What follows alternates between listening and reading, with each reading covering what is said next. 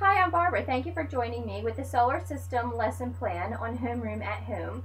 Today we're taking a quick look at an interactive toy. This is, although this is a, an older model from when my son was younger, there are newer models available, so check out your local toy store or even Amazon.com. But if we take a quick look at this model here, the solar system is featured, and what I particularly like about this is uh, even all of the various moons and then Saturn's rings are all illustrated quite well on this as well.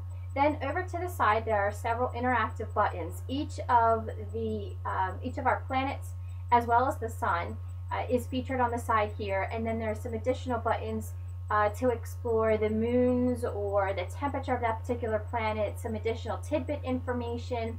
And then I believe the very bottom button here is a quiz.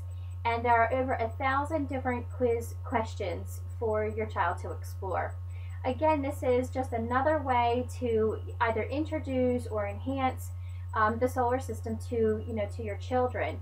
Um, we'll take a look at some other resources, some written, you know, information, and there are tons upon tons of you know books and written materials out there but this kind of allows it to be a little bit more playtime and still keeping within your theme.